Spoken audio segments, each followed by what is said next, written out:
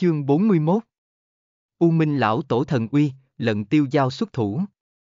Nghe đọc truyện miễn phí tại truyện chấm audio. Oanh. Một tiếng vang thật lớn. Chỉ gặp kiếm mang màu xanh không ngừng xen lẫn. Từng cái cường giả chí tôn không ngừng ngã xuống. Tiểu Cẩm cũng diễn hóa chân long bảo thuật, lập tức, bên trên bầu trời, từng đạo long khí băng đằng, từ không trung bên trong hạ xuống. Những cái kia cường giả chí tôn căn bản ngăn không được. Chỉ gặp từng cái cường giả chí tôn chết tại tiểu thanh cùng tiểu cẩm trên tay. U Minh lão tổ kinh hãi, Hắn không nghĩ tới hai cái này thì nữ cường đại như vậy. Chỉ gặp U Minh lão tổ đối mặt với tiểu thanh cùng tiểu cẩm, cười lạnh. Các nàng quả nhiên rất lợi hại, bất quá, ta nhưng từ chưa trông cậy vào qua những này thi thể, đã như vậy, ta liền tự mình ra tay đi. U Minh lão tổ nói, lập tức phi thân mà ra. Hắn hai tay oanh ra. Lập tức, lực lượng cường đại hội tụ ở cùng nhau, từng đạo hắc khí tạo thành hai đầu to lớn hắc long, lập tức hướng phía Tiểu Thanh cùng Tiểu Cẩm dũng mãnh lao tới. Hắc long toàn bộ từ hắc khí tụ tập, từng nét bùa chú xuất hiện tại hắc long phía trên. Hắc long cuốn sạch lấy, lập tức hướng phía Tiểu Thanh dũng mãnh lao tới. Chỉ gặp Tiểu Thanh trường kiếm phát ra thanh quang, cùng hắc long đụng vào nhau. Oanh, một tiếng vang thật lớn. Chỉ gặp Tiểu Thanh trực tiếp bị đánh lui. Thật mạnh. Tiểu Thanh nói một câu. Một đạo khác hắc khí hội tụ thành vì cự long, hướng phía Tiểu Cẩm dũng mãnh lao tới. Chỉ gặp Tiểu Cẩm lập tức vận chuyển chân long bảo thuật, một trắng một đen, hai đầu rồng trong nháy mắt đụng vào nhau. Oanh! Lập tức, Tiểu Cẩm cũng bị đánh lui. Hai người kinh hãi. U Minh lão tổ vừa ra tay, hai người bọn họ vậy mà đều ngăn không được. Giờ khắc này, Tiểu Thanh tế ra thanh ngọc thần kiếm, bao phủ thần bí ký hiệu, thước tha diệu thể bên trên bốc hơi khởi trận trận mờ mịt hà sương mù, mông lung mà thánh khiết, càng có sóng gợn mạnh mẽ khuếch tán ra, nàng cắn răng chống lại. Công. Thần kiếm chống trời. Minh âm điếc tai. Chỉ gặp tiểu thanh vung tay lên, trong nháy mắt, mấy trăm đạo kiếm khí quét tới, như là một mảnh cầu vồng. Lộng lẫy vô cùng, hoành không mà tới. Tiểu thanh lòng bàn tay phát sáng, một viên cổ phát phù văn ngưng kết, sau đó mãnh liệt đánh ra xuống dưới, cốt văn dày đặc. Ở trên bầu trời nở rộ. Lúc này, chỉ gặp U Minh lão tổ xuất thủ lần nữa. Lập tức, toàn thân hắc vụ hội tụ vào một chỗ, vô tận hắc vụ biến thành từng cái ác quỷ hướng phía tiểu thanh bọn hắn lao đến. Oanh! Phù văn hóa thành kiếm khí, cùng U Minh lão tổ hắc vụ đụng vào nhau, vang dội ken ken, sắc thái chói lọi, vỡ nát sau như là vô tận lưu tinh xuất hiện. Oanh! Chỉ gặp U Minh lão tổ hai tay kết ấn, lạnh lùng nói. Địa ngục chi thủ. Giờ khắc này, trong hư không một cái đại thủ dò tới, như ngọn núi nhỏ, hướng phía Tiểu Thanh cùng Tiểu Cẩm hai người đè xuống. Cặp kia đại thủ, giống như lần tiêu giao thượng thương chi thủ. Chỉ bất quá U Minh lão tổ đại thủ này, chung quanh hắc vụ quanh quẩn, quỷ khí âm trầm. Cùng lận tiêu giao thượng thương chi thủ không có chút nào cùng. Chỉ gặp Tiểu Thanh đại mi châu lên, đôi mắt đẹp quang mang đại thịnh, thật muốn hét lên một tiếng, huy kiếm chém tới. Tiểu Cẩm Nhã khiết xuất trần, đôi mắt đẹp trợn trừng. Nhìn về phía đối diện. Cầm trong tay ngân long thần thương, đâm ra một thương. Lập tức, to lớn kiếm quang nương theo lấy tiểu cẩm bạch long lập tức tuôn ra. Hai cổ lực lượng xoay quanh cùng một chỗ. Chỉ thấy bầu trời bên trong, một đầu bạch long vòng quanh một thanh thanh sắc cự kiếm lập tức bay ra ngoài. Giờ khắc này, những cái kia kiếm khí thay đổi, tuyệt thế sắc bén, giống như cánh chim. Ông một tiếng hư không rung rẩy, kiếm mang hàng trăm hàng ngàn đạo, cùng một chỗ cùng quét tới, để nơi đây nhiệt độ chợt hạ xuống. Đây là lạnh thấu xương sát ý, càng là chí cường kiếm ý, treo ở chỗ này, xanh biết vô cùng, phóng thích là sát ý vô biên. Oanh! Cả hai va chạm, tiếng vang chấn thiên, không có gì ngoài tranh tranh kiếm minh, còn có chí cường pháp lực đối oanh, bộc phát ra không gì so sánh nổi ba động. Chớp mắt tiếp xúc. Quang mang hừng hực, như là mặt trời nổ tung. Cùng địa ngục chi thủ đụng vào nhau. Lập tức, tất cả quang mang toàn bộ vỡ nát, tại không gian nổ tung ra. Ba quang lan tràn ra ngoài, hết thảy chung quanh toàn bộ bị tức hơi thở tác động đến, toàn bộ hủy hoại. Bọn hắn chỗ phụng âm sơn, cũng tại thời khắc này, rốt cục không chịu nổi. Oanh! Một tiếng vang thật lớn. Chỉ gặp Phụng Âm Sơn trong nháy mắt sụp đổ ra. Núi đá chấn động, lập tức sụp đổ xuống dưới. Lâm Khuynh Tuyết trong nháy mắt rơi đi xuống đi, lúc này, chỉ gặp một đạo bạch quan bao vây lấy nàng, đưa nàng lơ lửng giữa không trung. Chỉ gặp lận tiêu giao phi thường bình tĩnh đứng tại không trung, cái này kịch liệt bạo tạc đối với hắn mà nói không có ảnh hưởng chút nào. Lúc này, Tiểu Thanh cùng Tiểu Cẩm đều bị đánh lui trở về, lận tiêu giao nhẹ nhàng kéo một phát, Tiểu Thanh cùng Tiểu Cẩm lập tức về tới lận tiêu giao bên người. Chủ nhân, hắn rất mạnh. Lúc này, Tiểu Thanh mở miệng nói ra. Lận tiêu giao nhẹ gật đầu, dù sao cũng là thời đại kia lưu lại người. Thời đại kia. Chủ nhân ngươi nói đúng lắm. Tiểu Cẩm kinh ngạc nói. Lần tiêu giao nhẹ gật đầu, các ngươi không phải là đối thủ của hắn, để cho ta tới đi. Tiểu Thanh cùng Tiểu Cẩm đều nghe lời lui sang một bên, bởi vì bọn hắn tin tưởng chủ nhân, chỉ cần chủ nhân xuất thủ, vô luận là cường đại cỡ nào địch nhân, cũng không là đối thủ. Lần tiêu giao một tịch áo trắng, đứng tại cái này thế giới màu đen bên trong. U Minh Lão Tổ đạt được Ngọc Thanh Môn năm mạnh nhất đại đệ nhất nhân túc thể, nhìn cũng vô cùng tuổi trẻ. Chỉ gặp lận tiêu giao từng bước một hướng phía U Minh Lão Tổ đi đến. Hắn đạp trên hư không, như dẫm trên đất bằng, một bước, hai bước, nhìn rất xa con đường, mấy bước bên trong, liền bị lận tiêu giao đi tới. Đây là thần thông, xúc địa thành thốn. Lận tiêu giao, ngươi là mười vạn năm trước người, nhất định trải qua cái kia thiên kiêu thời đại A. U Minh lão tổ lạnh lùng hỏi. Lần tiêu giao nhẹ gật đầu. Không sai, mười vạn năm trước, thế giới này là thiên kiêu thế giới, cái gì thánh tử, đạo tử, ma tử, thánh nữ, ma nữ tầng tầng lớp lớp. Cái gì thần thể càng là tầng tầng lớp lớp. Giống như là lâm lạc thư dạng này thần thể khắp nơi đều là. Cửu tinh bá thể, thái cổ thánh thể, chỉ âm chi thể, chỉ dương chi thể, chỉ tôn thần thể. Các loại vô địch pháp, vô địch đường. Thời đại kia, mặc dù thiên kiêu tầng tầng lớp lớp, nhưng là có thể đứng ở sau cùng, cũng vẹn vẹn chỉ có mấy người thôi. Lận tiêu giao chính là một người trong đó. Ngươi hẳn là cái trước thời đại người đi. Lận tiêu giao bình tĩnh nhìn U Minh Lão Tổ nói. Ngươi nói không sai, ta là đã từng tham gia qua cuộc chiến đấu kia người, tại cuộc chiến đấu kia bên trong, ta nhục thể bị hao tổn, chỉ còn lại có một điểm tàn hồn, sau đó ta liền ẩn cư ở chỗ này, bây giờ, ở chỗ này, đã mười mấy vạn năm. U Minh Lão Tổ nói. Kế hoạch của ta lúc đầu rất hoàn mỹ, chỉ cần ta thu hoạch được túc thể, ta lại có thể một lần nữa xuất thế, lần nữa vấn định thế giới, lần nữa tiêu giao thế gian, đều là ngươi, là ngươi phá vỡ kế hoạch của ta. U Minh Lão Tổ lạnh lùng nói. Năm đó cuộc chiến đấu kia ta nghe nói vô cùng thảm liệt, bất quá ngươi lại có thể còn sống rời đi. Lận tiêu giao bình tĩnh nhìn U Minh Lão Tổ hỏi. Lúc ấy, chúng ta chẳng qua là tạp binh thôi, miễn cưỡng có tư cách tham gia cuộc chiến đấu kia, chính là bởi vì chúng ta không phải chủ lực, ta phát hiện, cuộc chiến đấu kia chúng ta căn bản không có khả năng thắng, cho nên ta nhục thân bị hủy về sau, liền chạy ra, đi tới thiên nguyên đại lục, những năm gần đây, ta một mực trốn ở chỗ này. U Minh Lão Tổ nói. Lúc này, lận tiêu giao trên mặt có chút giận dữ, thản nhiên nói. Nói như vậy, ngươi là đào binh rồi. Tải áp nghe trọn bộ ở phần mô tả. Chương 42 Địa ngục chi môn mở ra, trật tự dây chuyền khóa dết. Nghe đọc truyện miễn phí tại truyện chấm audio. Giờ khắc này, U Minh lão tổ trên mặt tức giận. Đào binh. Cái gì gọi là đào binh? Ta mặc dù không có tham chiến, nhưng là nhục thân đều bị hủy, vậy còn gọi đào binh sao?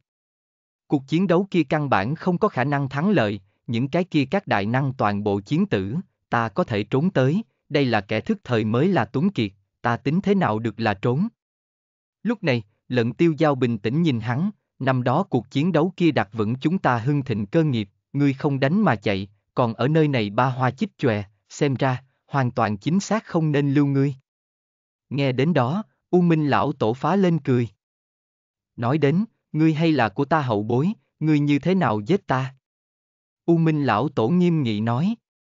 U Minh lão tổ mang trên mặt cười lạnh, nhô ra một cái đại thủ, trực tiếp hướng phía dưới vỗ tới, hắc vụ ngập trời, như một con ma thủ từ vực ngoại hạ xuống, che khuất bầu trời. Trong hư không, một gốc lại một gốc màu đen hắc liên cắm rễ, phô thiên cái địa, bao phủ kín nơi này, muốn vây khốn hắn.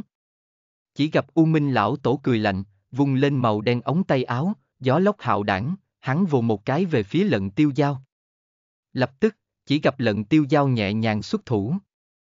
Trên bầu trời hết thảy trong nháy mắt tan thành mây khói, tất cả hắc liên trong nháy mắt chuyển hóa trở thành bạch liên, phát ra quang mang này. Thấy cảnh này, U Minh lão tổ kinh hãi. Làm sao có thể? Hắn nhìn xem lận tiêu giao, lận tiêu giao rõ ràng chỉ là tu hành 10 vạn năm người, thủ đoạn làm sao như thế thông thiên. Hắn đòn đánh mạnh nhất, lại bị lận tiêu giao dễ dàng như thế liền hóa giải, lập tức trong lòng vô cùng tức giận. À! U Minh lão tổ hét lớn một tiếng. Lập tức, phiến thiên địa này bạo động, các loại quang mang bay múa. Vô tận hắc khí trong nháy mắt tụ lại cùng một chỗ, từng đạo hắc khí trên không trung không ngừng tụ lại. Âm âm, lúc này, bên trên bầu trời, tầng mây che đậy. Trong tầng mây, bỗng nhiên xuất hiện một đạo to lớn cánh cửa. Cánh cửa phía trên tuyên khắc lấy các loại ký hiệu, từng nét bùa chú xuất hiện tại cánh cửa phía trên. Đã vừa rồi những cái kia không đối phó được ngươi, vậy chỉ dùng chiêu này đi. Ra đi, địa ngục chi môn. Chỉ gặp vô tận hắc khí phun lên địa ngục chi môn phía trên, đèn nhánh đại môn đột nhiên mở ra. Lập tức, hắc khí không ngừng tuôn ra, hóa thành từng cái lệ quỷ, những cái kia bọn lệ quỷ trong nháy mắt hướng phía lận tiêu giao trùng sát đi qua. Một gốc đen nhánh sen hiển hiện, trở thành màu đen mặt trời, bao vây lấy hắn, đồng thời một nháy mắt mà thôi. U Minh lão tổ cầm trong tay một gốc hắc liên, kia là bản thể của hắn, màu đen phù văn như gợn sóng, nhanh chóng khuếch tán, loạn lá tàn lụi, tia lửa tung tóe. À! Hắn gào thét, thi triển đại thần thông, cả người đều bắt đầu cháy rừng rực, muốn quyết nhất tự chiến. Đi chết! Lúc này, bên trên bầu trời cửa lớn màu đen mở ra. Cuồn cuộn lực lượng từ không trung bên trong hiện lên. Hắn dứt bỏ hết thảy, trở thành sinh tử chiến, thông thiên động địa, liều lĩnh đại giới thiêu đốt, một nháy mắt mà thôi, trên trời hạ xuống một đạo hừng hực chùm sáng. Trong vòng trời mặt trời rủ xuống một đạo đáng sợ thần quang, U Minh lão tổ phản phất cùng trời ngày giao hòa cùng một chỗ, đạp trên liệt hỏa đi tới, mỗi một tấc máu thịt đều tại dâng lên thần diễm. Đi chết.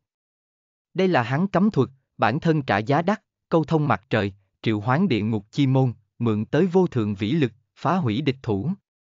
U Minh và tổ hỏa chỉ riêng bừng bừng, liệt diễm đốt cháy, phía dưới sơn phong hóa hóa thành tro bụi, trực tiếp bị đốt không có, về phần hồ lớn thì cấp tốc biến mất, triệt để sấy khô. Nơi này, trời quang mây tạnh, thần mang trùng thiên, mặt trời phản phất ép xuống dưới, cùng U Minh lão tổ hợp nhất, bộc phát ra sức mạnh đáng sợ nhất. Địa ngục chi môn xuất hiện, diệu thiên hắc nhật xuất hiện. Cung cuộn lực lượng tuôn hướng lận tiêu giao. Giờ khắc này, chỉ gặp lận tiêu giao ánh mắt bình tĩnh, nhìn xem U Minh lão tổ, trong tay thần lực nhắm ngay U Minh lão tổ, lập tức tuôn ra. Lập tức, từng đạo thần phù tại phát ra quang mang. Bên trên bầu trời, từng đạo xiềng xích từ không trung bên trong rơi xuống. Đó là ngay cả tiếp trật tự xiềng xích, là đại đạo. Rầm rầm rầm. Từng tiếng tiếng vang. Chỉ gặp từng cây trật tự tỏa liên khóa tại U Minh lão tổ trên thân, đem hắn thần lực trên người toàn bộ áp chế xuống. Giờ khắc này, trong ánh mắt hắn lộ ra thần sắc kinh khủng, không thể tin được nhìn xem lận tiêu giao nói. Cái này, đây là trật tự chi lực. Ngươi làm sao có thể? Làm sao có thể điều khiển đại đạo trật tự? Làm sao có thể? Lập tức, chỉ gặp từng cây xiềng xích trói lại U Minh lão tổ, xiềng xích phía trên tràn đầy đại đạo trật tự chi lực, trật tự chi lực áp chế U Minh lão tổ, hắn căn bản không có khả năng tránh thoát. Ngươi chỉ là tu luyện 10 vạn năm, làm sao có thể tu luyện tới loại cảnh giới này?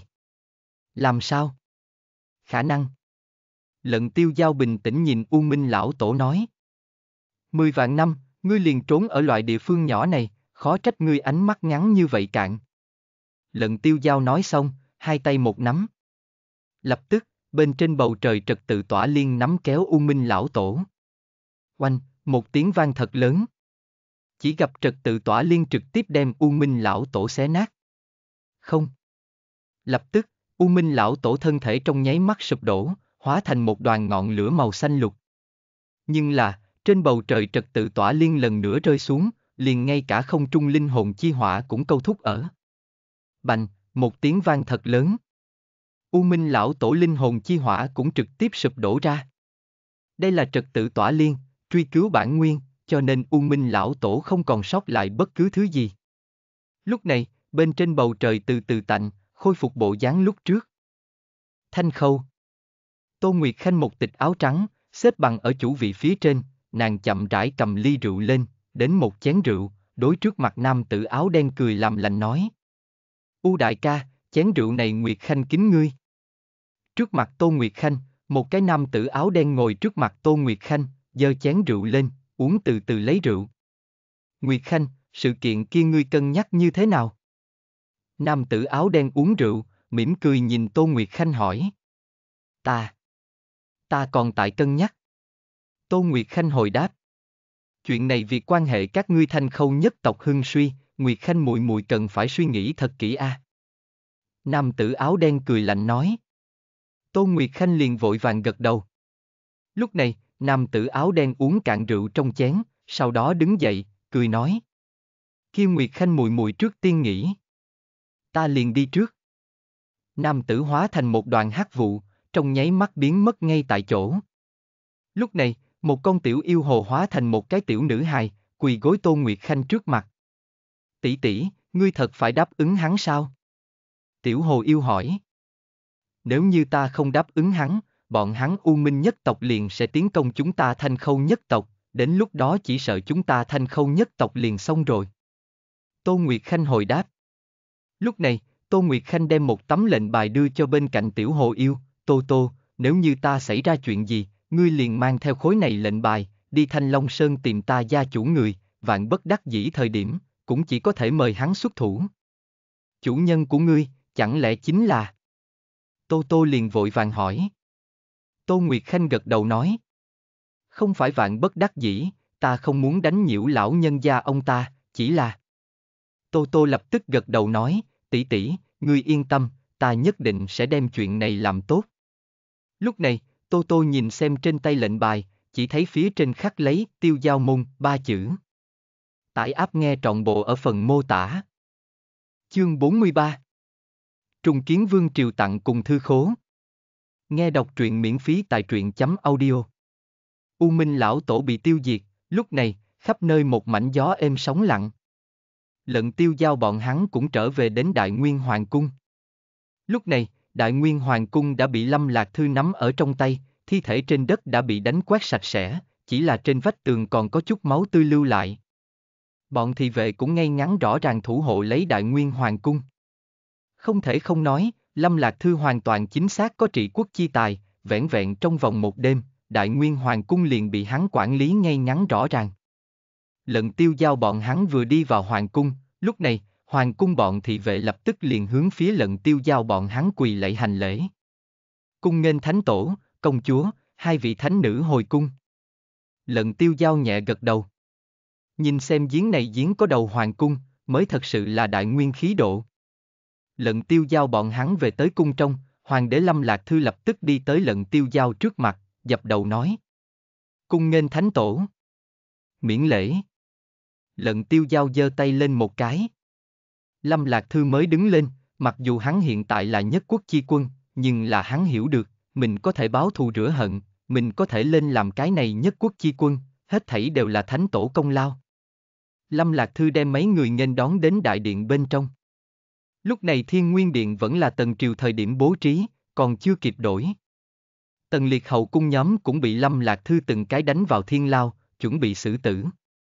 Lâm Lạc Thư cũng không phải là một vị nhân quân, nhưng là cũng không đại biểu Lâm Lạc Thư không phải một vị tốt hoàng đế, đối với nhổ có không trừ gốc loại chuyện này, Lâm Lạc Thư hắn nhưng làm không được.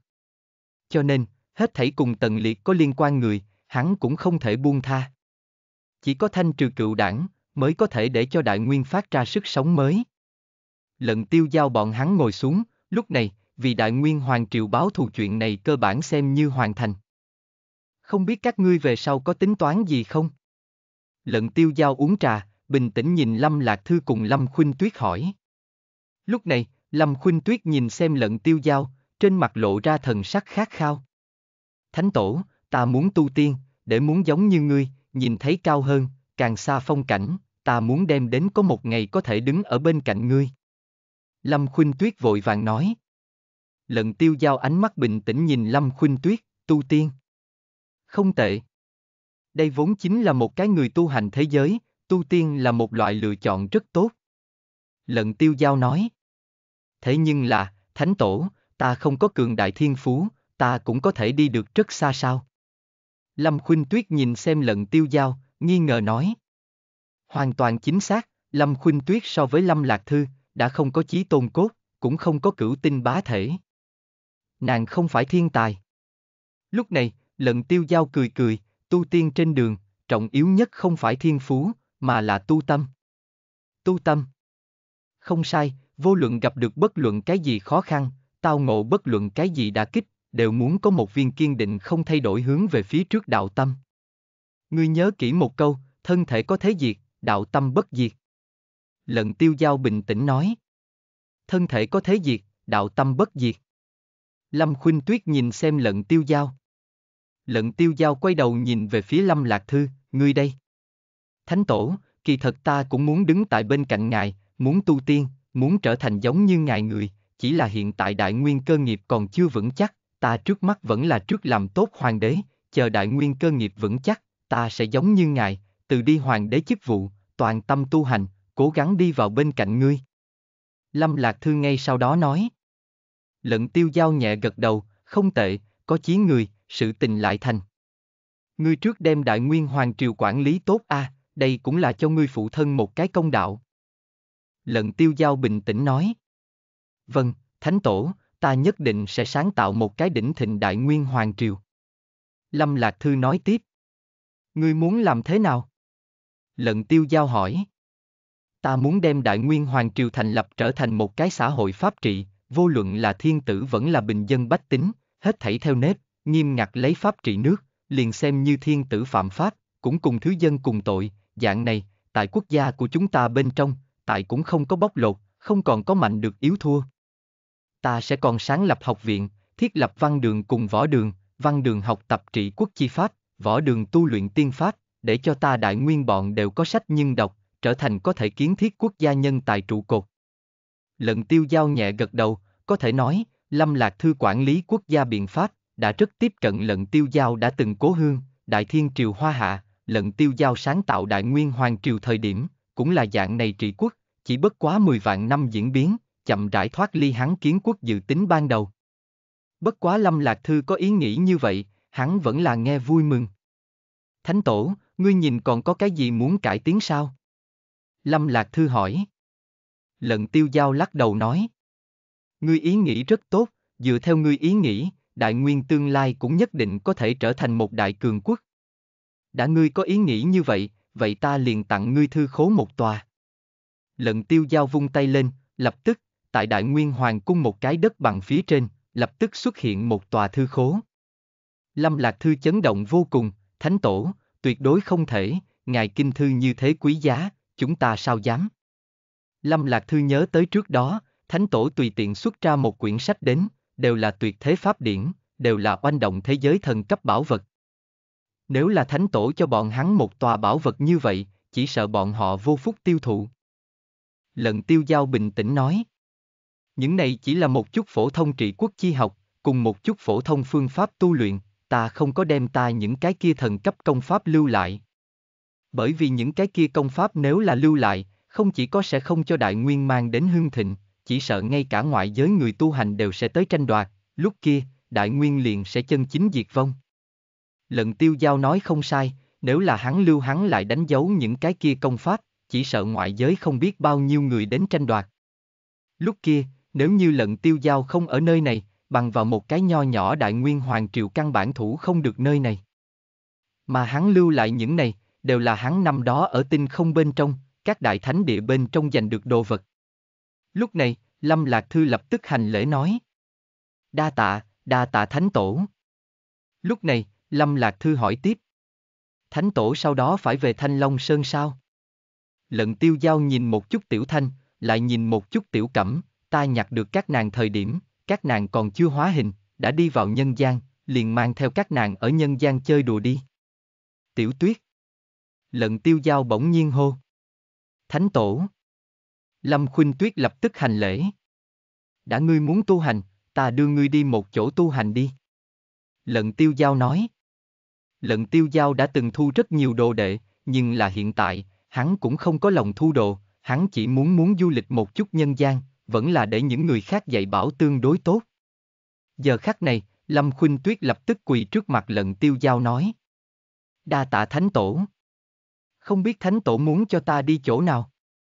Đại La Thánh Địa. Lận tiêu giao bình tĩnh nói. Tải áp nghe trọn bộ ở phần mô tả. Chương 44 Khai quốc đại điện ngàn vạn trên tông môn trăm tiểu quốc nhau nhau đến chút. Nghe đọc truyện miễn phí tại truyện chấm audio. Ngọc Thanh Môn Mấy vị trưởng lão ngay tại trong tông môn nghị sự. Trưởng môn của bọn hắn Ngọc Thanh Tử tại Đại Nguyên Hoàng Triều chi chiến bên trong bỏ mình, bọn hắn nhất định phải lựa chọn sử dụng một cái mới trưởng môn. Làm thiên nguyên đại lục bốn đại tông môn một trong, Ngọc Thanh môn nội tình cũng không yếu, nhưng là cường giả chí tôn, liền có mấy tôn. Nhưng là bây giờ, cường giả chí tôn toàn bộ xuất thế, bởi vì hiện tại vấn đề vô cùng nghiêm trọng. Lận tiêu giao cùng U Minh lão tổ khoáng thế đại chiến, làm cường giả chí tôn bọn hắn làm sao có thể không biết, bọn hắn cũng ở phía xa quan sát được kia một trận khoáng thế chi chiến. Lúc đầu, bọn hắn coi là U Minh lão tổ chính là cái này thế giới vô địch tồn tại, bọn hắn ai cũng không dám trêu chọc U Minh lão tổ, mới có thể phối hợp U Minh lão tổ kế hoạch. Nhưng nhìn trận kia khoáng thế sau đại chiến, bọn hắn phát hiện, U Minh lão tổ trước mặt lần tiêu giao, chẳng qua là côn trùng thôi. Như vậy bọn hắn Ngọc Thanh Môn trước mặt lận tiêu giao, cũng cái gì cũng không bằng. Ngay từ đầu, bọn hắn còn dự định vì Ngọc Thanh tử báo thù. Nhưng nhìn trận đại chiến kia về sau. Báo thù. Vẫn là thôi đi. Chỉ cần người ta không tìm tới mình, liền cảm ơn trời đất. Chư vị, Ngọc Thanh tử bị giết, chư vị không biết có ý nghĩ gì. Một trưởng lão hỏi.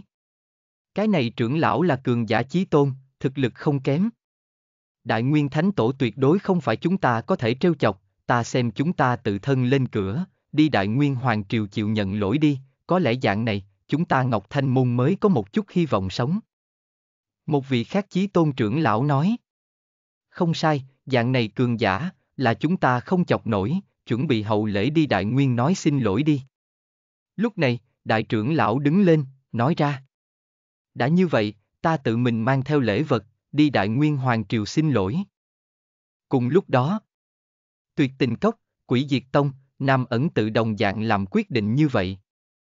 Mấy ngày sau, Đại Nguyên Hoàng Triều Hôm nay là Đại Nguyên Hoàng Triều khai quốc đại điển.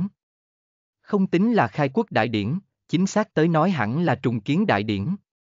Đại Nguyên Hoàng Triều mặc dù một mực to lớn, nhưng là bị Tần Liệt chiếm cứ mấy tháng, bây giờ đoạt lại, cũng coi như được là một lần nữa kiến quốc, cho nên liền xem như nói ra nước đại điển cũng không sai. Lâm Lạc Thư đăng cơ, làm đại nguyên hoàng triều hoàng đế. Đại thần trong triều cũng một lần nữa tẩy bài, Lâm Lạc Thư tìm rất nhiều đáng tin cậy người tới đảm nhiệm đại thần, mà lại năm nay cũng sẽ thiết lập khoa cử chế, thông qua khảo thí đến tuyển cử đại thần trong triều, bổ khuyết đại thần trống chỗ. Mặc dù cường đại hoàng triều cũng không phải là một sớm một chiều có thể thành lập, nhưng là từ dân chúng trong tươi cười có thể nhìn ra được, bọn hắn rất chờ mong mới vương triều, rất chờ mong mới hoàng đế. Khai quốc đại điển, tại Nam Thành cửa trên quảng trường, hàm dương dân chúng tụ tập, một mảnh người đông nghìn nghịt. Đối với quân đội, Lâm Lạc Thư chỉ giết tần gia quân, cái khác lúc đầu đều là bọn hắn đại nguyên quân đội, nhưng là bọn hắn đều là nghe quân lệnh làm việc, bởi vì tần liệt có quân lệnh, cho nên coi như bọn hắn có lòng phản kháng, cũng không dám. Cho nên Lâm Lạc Thư không có đuổi tận giết tuyệt, nếu là quân đội đều đuổi tận giết tuyệt, như vậy hắn nội tình liền thật không có. Lâm Lạc Thư một lần nữa tẩy bài, đem quân đội tướng quân toàn bộ đổi một lần, cơ bản đều là mình tín nhiệm người. Bọn hắn thủ hộ lấy đại nguyên, đứng ở Nam Thành bề ngoài trước. Lâm Lạc Thư mang theo các vị đại thần đứng tại trên tường thành, chờ đợi lấy giờ lành, chờ đợi lấy đại nguyên trùng kiến thời khắc trọng yếu. Lận tiêu giao bọn người đứng ở một bên, bọn hắn phải chờ tới đại nguyên hoàng triều chân chính thành lập thời khắc, bọn hắn mới có thể rời đi. Đại nguyên hoàng triều lại lần nữa trở về. Quá tốt rồi, đại nguyên mạnh hơn đại tần nhiều, đại nguyên thời điểm, chúng ta áo cơm không lo, nhưng đã đến đại tần, thuế má tăng thêm, chúng ta đều rất khó sinh hoạt. Bây giờ Đại Nguyên Hoàng Triều một lần nữa thành lập, chúng ta nhất định lại có thể vượt qua hạnh phúc thời gian. Dưới đáy dân chúng nghị luận âm ỉ. Giờ lành đã đến. Đúng vào lúc này, người chủ trì thanh âm bỗng nhiên vang lên. Lâm Lạc Thư vô cùng kích động, đi tới Nam Thành cửa trước đó. Lúc này, hắn lớn tiếng nói. Từ đây cắt ra bắt đầu, Đại Nguyên Hoàng Triều, một lần nữa thành lập. Hủy bỏ quốc hiệu Tần, đổi quốc hiệu việt Nguyên. Lập tức. Ba ba ba ba, lúc thì đỏ oanh liệt tiếng vỗ tay lập tức tại Nam Thành môn hạ mặt vang lên. Viết một cái, Nguyên, chữ cờ hiệu, không ngừng lên tới bên trên bầu trời. Tiếng vỗ tay như sấm không ngừng vang lên. Bỗng nhiên, một trận thanh âm cùng kêu lên đánh tới. Vạn Thế Thiên Thu, Đại Nguyên Vĩnh Tồn. Vạn Thế Thiên Thu, Đại Nguyên Vĩnh Tồn. Vạn Thế Thiên Thu, Đại Nguyên Vĩnh Tồn. Tất cả dân chúng, tất cả quân đội, tất cả thần tử, tại thời khắc này, đều đang hô hoáng lấy cái này một cái khẩu hiệu. Dân chúng hô hào khẩu hiệu, vỗ tay, trong mắt hiện ra lệ quan. Nhiều lần khó khăn trắc trở, Đại Nguyên lại lần nữa trở về. Đây là Đại Nguyên, là bọn hắn vĩnh viễn quốc gia, vạn thế Thái Bình quốc gia. Giờ khắc này, bọn hắn kích động la lên, hoan hô, vì mình quốc gia. Đúng vào lúc này. Từng đạo khí tức bỗng nhiên xuất hiện. Các ngươi mau nhìn. Lúc này, đám người lập tức trở về đầu nhìn lại, chỉ gặp ngoài trăm dặm bên trên bầu trời, từng cái kiếm sĩ trên chân dẫm lên phi kiếm, hướng phía Đại Nguyên Hoàng Triều bay tới. Bọn hắn bay đến Đại Nguyên Hoàng Cung trước mặt, lập tức rơi xuống đất, rất cung kính đi tới Nam Thành cửa. Mọi người tránh ra một con đường, những tu sĩ kia đi tới Lâm Lạc Thư cùng lần tiêu giao trước mặt, hành lễ nói. Ngọc Thanh Môn đến đây đến đây tạ tội, đồng thời chúc mừng Đại Nguyên Hoàng Triều thành lập. Ngay sau đó, mặt khác một đám người lại tới. Lần này tới, là từng cái ni cô, bọn hắn mặc tăng y, từ trở thành rất cung kính đi vào trong thành, đi vào lần tiêu giao cùng Lâm Lạc Thư trước mặt hành lễ nói. Tuyệt tình cốc chúc mừng Đại Nguyên Hoàng Triều thành lập, lúc trước đối Đại Nguyên có chỗ bất kính, mong rằng Thánh Tổ cùng bệ hạ thứ tội. Ngay sau đó là Nam Ẩn Tự, ngay sau đó là Quỷ Diệt Tông. Tại tứ đại môn phái đi xong lễ về sau, còn chưa kết thúc. Trên bầu trời, từng cái tông môn môn phái đi tới Đại Nguyên Hoàng Triều. Ngự kiếm cửa, thiên âm cửa, linh ẩn tự, tuyết rơi cửa. Từng cái tông môn đi vào quảng trường trước mặt, lít nhà lít nhít tông môn, khả năng có hơn ngàn cái. Chỉ gặp bọn họ đối lận tiêu giao cùng lâm lạc thư hành lễ. Đợi đến đông đảo tông môn đều tới về sau, chỉ gặp bọn họ hướng phía lận tiêu giao cùng lâm lạc thư hành lễ nói. Thánh tổ hồng phúc tề thiên, cùng trời đồng thọ. Ức tuổi ức tuổi tỷ tỷ tuổi. Hoàng thượng vạn tuế vạn tuế vạn vạn tuế. Đám người lập tức quỳ xuống, đối lâm lạc thư cùng lận tiêu giao đi quỳ lạy lễ. Lận tiêu giao có chút giơ tay lên nói. Các ngươi đứng lên đi. Thân ảnh của hắn ẩn chứa một loại đạo, mặc dù nói không lớn tiếng, nhưng lại truyền vào mỗi người trong lỗ tai. Cái này nhất thời đợi, tứ đại môn phái đại biểu tiến lên một bước, quỳ xuống nói. Ngọc Thanh Môn, Tuyệt Tình Cốc, Nam Ẩn Tự, Quỷ Diệt Tông lúc trước phái người trợ giúp tận liệt, cùng đại nguyên đối kháng, ngăn cản thánh tổ, còn xin thánh tử cùng bệ hạ giáng tội. Lúc này, Lâm Lạc Thư nhìn thánh tổ một chút, thánh tổ, nên làm cái gì? Lận tiêu giao đi đến phía trước, thản nhiên nói. Ta từ trước đến nay có công tất thưởng, có tội tất phạt, thật có của các ngươi tội. Giờ khắc này, bốn đại tông môn đại biểu trưởng lão trên đầu toát mồ hôi lạnh, trong lòng khiếp sợ không gì sánh nổi. Nhưng là, xem ở các ngươi thái độ cũng không tệ lắm phân thượng, ta phạt các ngươi vĩnh thế che chở đại nguyên, chỉ cần các ngươi tồn tại một ngày, đại nguyên hoàng triều chính là các ngươi nhất định phải bảo vệ vương triều, nếu như ta phát hiện các ngươi không có làm được, vậy ta chỉ có thể tiêu diệt các ngươi. Lần tiêu giao bình tĩnh nói. Giờ khắc này, tứ đại môn phái trưởng lão mới thở dài một hơi. Đại nguyên hoàng triều có dạng này một vị chỗ dựa, từ nay về sau, còn có ai dám đối phó đại nguyên hoàng triều. Che chở đại nguyên hoàng triều, đối bọn hắn tới nói, chỉ sợ là nhẹ nhất trừng phạt. Đa tạ thánh tổ khai ân. Chúng ta tứ đại môn phái nguyện ý vĩnh thế che chở đại nguyên, đại nguyên tại, chúng ta tại. Tứ đại môn phái đại biểu lập tức nói. Lận tiêu giao giơ tay lên một cái, để bọn hắn. Lúc này, tất cả tông môn đều hướng lận tiêu giao hành lễ nói. Từ hôm nay trở đi, Đại Nguyên Hoàng Triều chính là chúng ta tất cả môn phái vô thượng thánh triều, chúng ta đem vĩnh thế che chở Đại Nguyên. Vĩnh thế che chở Đại Nguyên. Tất cả môn phái đồng nói. Bắc Di cùng Tây vực quốc quân đến. Đúng vào lúc này, ngoài cửa thanh âm vang lên. Nam Màn quốc quốc quân đến. Vụ đô quốc quốc quân đến. Phiên quốc quốc quân đến. Lúc này, từng cái số ít tên tộc quốc quân nhóm đi tới Đại Nguyên. Thiên Nguyên Đại Lục bên trong, từ Nam đến Bắc, từ Tây đến Đông, vô luận to to nhỏ nhỏ quốc quân, tại một khắc, toàn bộ đều đi tới Đại Nguyên Hoàng Triều. Chỉ gặp bọn họ đi tới lận tiêu giao cùng Lâm Lạc Thư trước mặt. Thánh tổ ức tuổi ức tuổi tỷ tỷ tuổi, hoàng thượng vạn tuế vạn tuế vạn vạn tuế. Bọn hắn mặc dù là tiểu quốc, nhưng là đều là một nước quốc quân. Nhưng là hiện tại, bọn hắn toàn bộ tại lận tiêu giao cùng Lâm Lạc Thư trước mặt quỳ xuống. Thánh tổ, bệ hạ, ta Bắc Di nước, ta Tây vực quốc, ta Nam Mang quốc. Chúng ta nguyện ý ủng hộ Đại Nguyên vì Thiên Triều Thánh Quốc, trở thành Đại Nguyên nước phụ thuộc. Các vị quốc quân đồng nói. Lận tiêu giao nhẹ gật đầu, Lâm Lạc Thư giơ tay lên nói.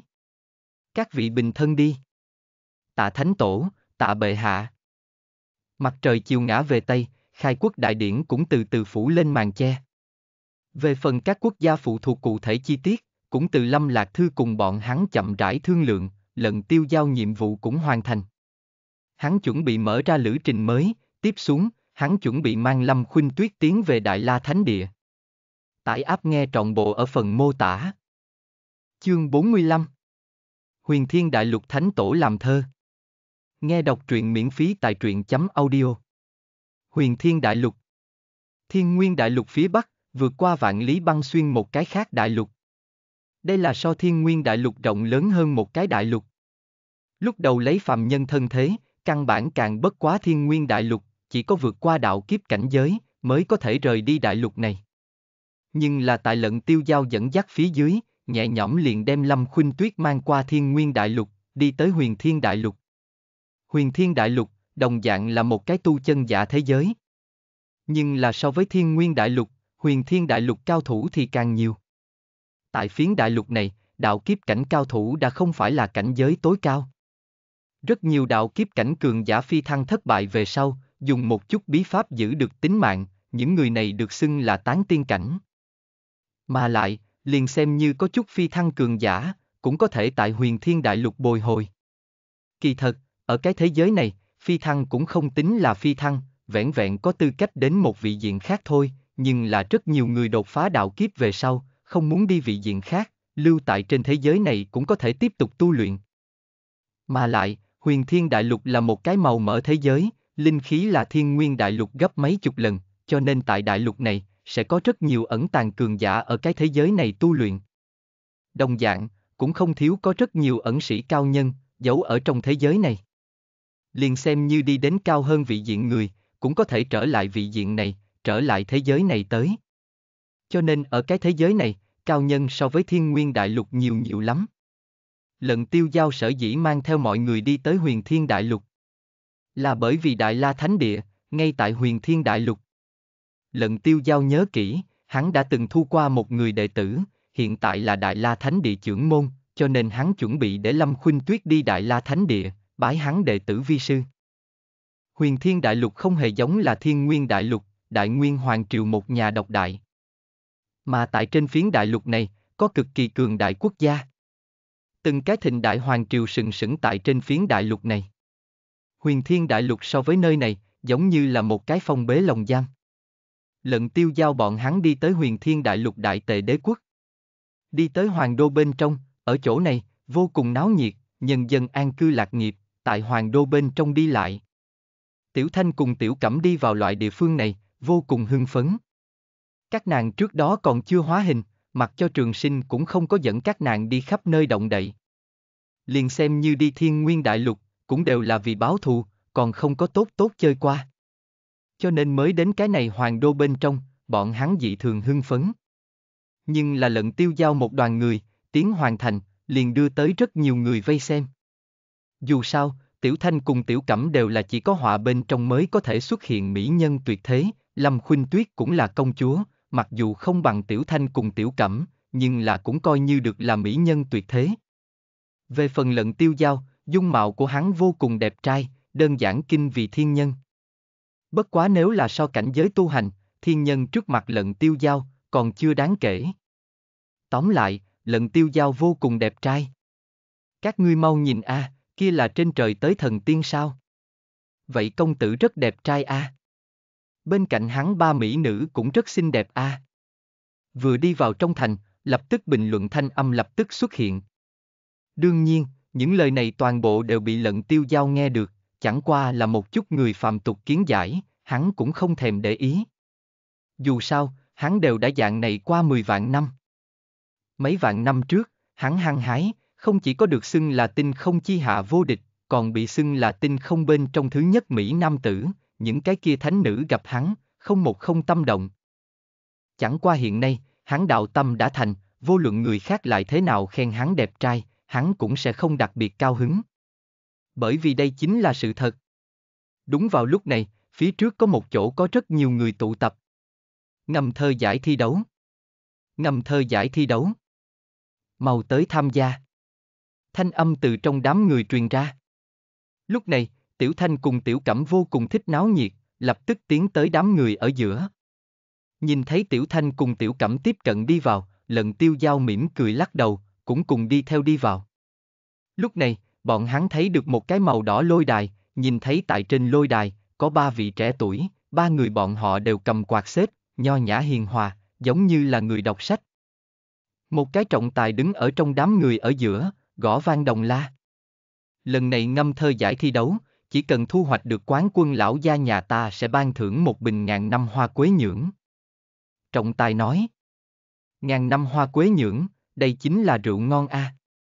Nghe được là rượu, tiểu cẩm trong mắt lập tức thả ra tinh quang. Tiểu thanh hai mắt thật to nhất chuyển, nhìn xem tiểu cẩm trêu ghẹo nói.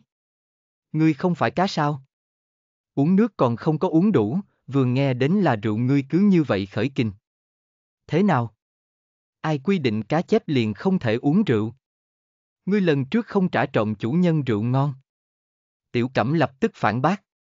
Lần trước ta mới uống một điểm, liền bị ngươi toàn bộ uống cạn sạch, ngươi như thế uống, sớm muộn có một ngày bị người làm thành say cá. Tiểu Thanh chống nạnh, hừ lạnh nói. Tóm lại, cái này đàn hoa quế nhưỡng, bản cô nương chắc chắn phải có được. Tiểu Cẩm không phục nói. Đây chính là ngâm thơ đại hội, ngươi sẽ làm thơ sao?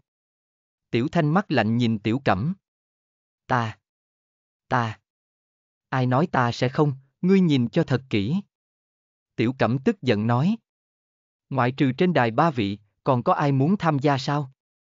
Lúc này, trọng tài trên đài hỏi. Ta. Ta ta ta. Tiểu Cẩm lập tức nhấc tay, sau đó đi lên đài. Tiểu Cẩm đi lên đài, ba vị người đọc sách đều vô cùng kích động, nhìn xem đẹp như tiên nữ Tiểu Cẩm, trợn cả mắt lên. Dưới mặt đất khán giả cũng nhìn xem Tiểu Cẩm, trong lòng phi thường chờ mong. Đại mỹ nhân như vậy, lại sẽ làm thơ, bọn hắn làm sao có thể không chờ mong đâu. Kia tốt. Ngâm thơ đại hội, hiện tại bắt đầu. Ken, trọng tài hung hăng gõ đồng la. Vậy trước tiên tới một cái đơn giản đề mục, mời lấy Sơn Thủy làm đề, phú một bài thơ. Trọng tài nói. Vậy liền ta tới trước đi. Nhìn thấy tiểu cẩm lên đài, ba vị người đọc sách đều rối rít muốn hiện ra tài hoa của mình.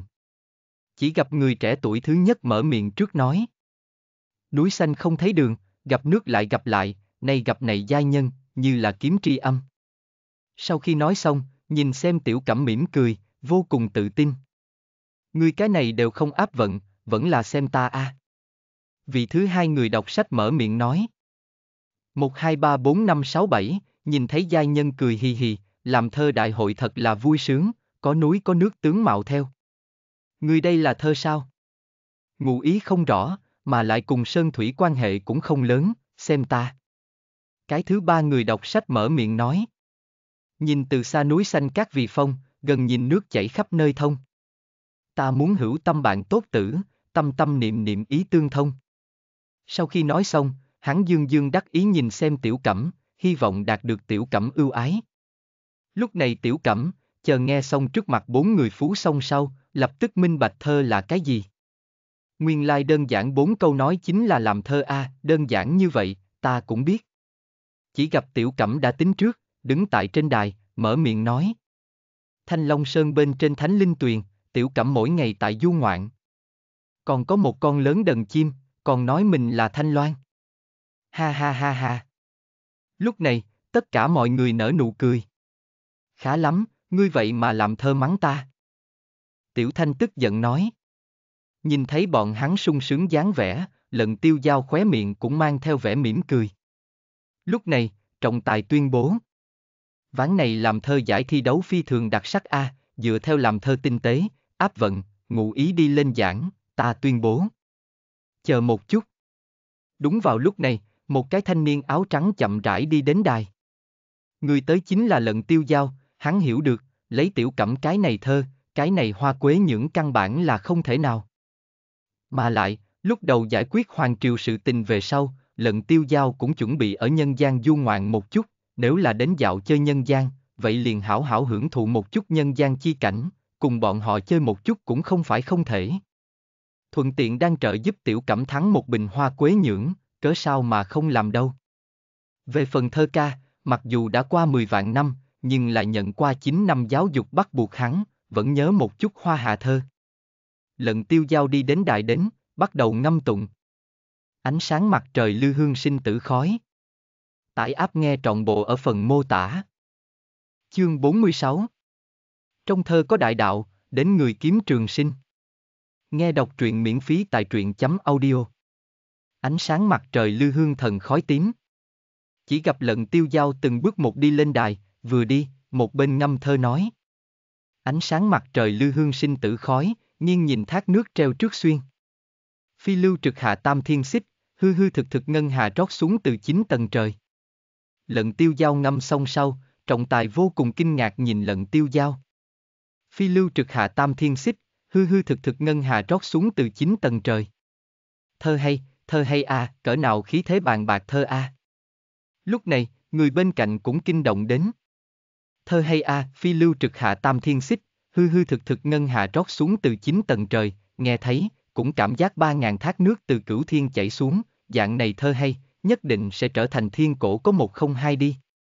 Vì công tử này không chỉ có vóc người đẹp mắt như vậy, thơ cũng đọc tốt như vậy. Phi lưu trực hạ tam thiên xích, hư hư thực thực ngân hà rót xuống từ chín tầng trời, cỡ nào duy mỹ ý cảnh a. Đúng vậy a đúng vậy a, như thế duy mỹ ý cảnh, nếu là có thể tận mắt thấy, thật là tốt biết bao a. Vừa dứt lời. Bỗng nhiên trong đám người một người kinh hô. Các ngươi mau nhìn. Kia là. Lập tức, tất cả mọi người kinh ngạc từ không trung bên trong nhìn sang. Một tòa đỉnh thiên lập địa lư hương, từ từ địa dân lên bao quanh khói trắng. Mờ mịt tại núi xanh trời xanh ở giữa, tại mặt trời đỏ chiếu xuống hóa thành một mảnh tử sắc tráng mây. Lồng lồng lư hương phong giấu ở mây khói sương mù bên trong. Ngóng nhìn thác nước giống như từ đám mây bay lưu thẳng xuống dưới, lâm không mà rơi. Phản phất một đầu ngân hà từ trời rơi xuống. Đó là cái gì? Là dị tượng, là hải thị thận lâu sao? Đó chính là phi lưu trực hạ tam thiên xích, hư hư thực thực ngân hà rót xuống từ chín tầng trời sao? Bên trên bầu trời, sương mù tím lượng lờ một đầu ngân hà từ cửu thiên rơi xuống, giờ khắc này, tất cả mọi người kinh ngạc nhìn lận tiêu giao. Lận tiêu giao cũng có chút kinh ngạc. Mình chẳng qua là muốn niệm một bài thơ, cũng không muốn làm ra như thế lớn chiến trận. Hắn là ai? Chẳng lẽ là trong truyền thuyết trích tiên sao? Quá đẹp rồi à! Lận tiêu giao cười cười, bọn hắn trong miệng trích tiên, chẳng qua là thượng giới người chuyển thế thôi, tu vi của hắn, nhưng so sánh trích tiên cao hơn. Bất quá không quan trọng, giải trí một chút thôi. Giờ khắc này, trọng tài kinh ngạc nhìn lận tiêu giao, không dám tin vào hai mắt của mình. Đây tuyệt đối là thi tiên tại thế, so với lận tiêu giao, những người khác thơ thật sự là quá bình thường, không thể nói bình thường, phải nói là nát. Bọn hắn vậy căn bản không tính là thơ. Hắn kinh ngạc nhìn lận tiêu giao, qua thật lâu mới nói ra. Ta tuyên bố, ván này, chiến thắng chính là bên cạnh ta vị công tử này. Trọng tài chỉ vào lận tiêu giao nói. Không biết công tử tôn tính đại danh. Lận tiêu giao. Lận tiêu giao không có bất kỳ cái gì giá đỡ, rất tự nhiên nói ra tên của mình.